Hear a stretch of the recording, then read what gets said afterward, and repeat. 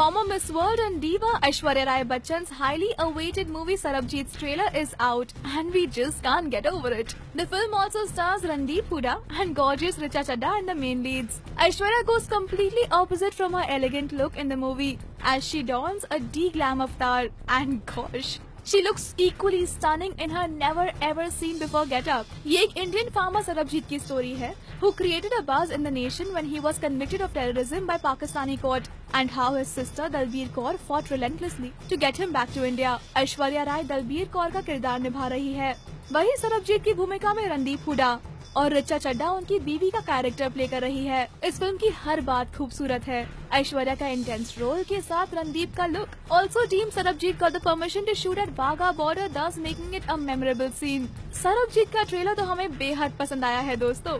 It's going to release this May worldwide so आपको कैसा लगा Sarabjit trailer excited for the movie hit like post comments and to Bollywood now for updates on your favourite celebrities